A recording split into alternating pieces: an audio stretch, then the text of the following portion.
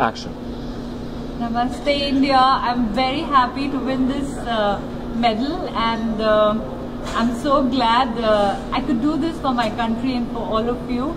I really want to thank um, my coaches, my trainers, uh, Sports Authority of India, Ministry of Sports for funding my training so beautifully.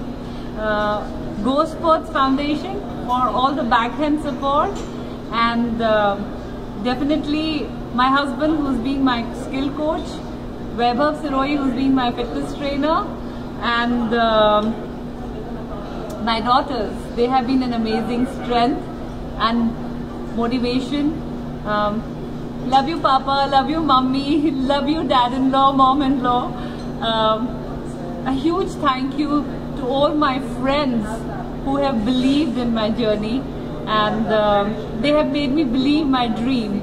I'm so eager to come back to India and I'm going to come back as soon as possible because I have to come back with this medal and share it. I'm about to receive the medal in about uh, another half an hour or so. Um, love you all. See you all soon.